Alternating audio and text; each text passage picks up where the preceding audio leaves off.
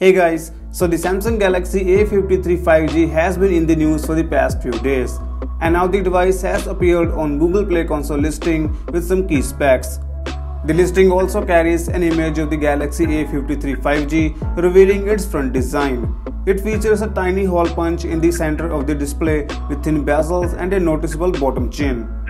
The listing reveals that the device will be powered by an octa-core Samsung chipset bearing model number S5E8825 with 2 ARM Cortex-A78 cores and 6 ARM Cortex-A55 cores.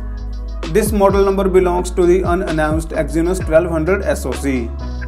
This new SoC is expected to serve as a successor to the Exynos 1080.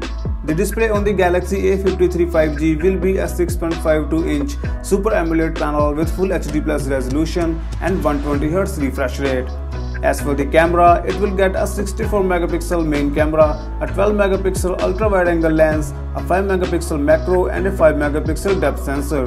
On the front, it may get a 32 megapixel selfie snapper. It will get power from a 5000 mAh battery with 25 watt fast charging support.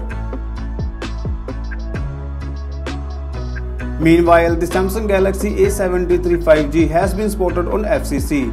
The listing doesn't reveal much about its specs but only confirms that the device will support 25 watt fast charging. According to some previous reports, the device will come with a 6.7-inch Full HD Plus Super AMOLED display with 120Hz refresh rate. It will feature a hole punch cutout for the selfie camera and an under-display fingerprint scanner. The heart of the device could be the Snapdragon 750G SoC. It will get a huge upgrade in camera department as it is said to have a 108 megapixel main camera with optical image stabilization. The second lens will be a 12 megapixel ultra wide angle lens along with an 8 megapixel telephoto lens and a 5 megapixel macro lens. But I would suggest you to take this information with a pinch of salt.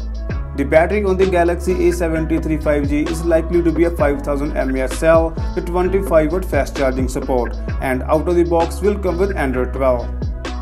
So that is all for today and for more such videos subscribe to our channel. Thank you for watching. Hope to see you tomorrow in a new video. Peace out.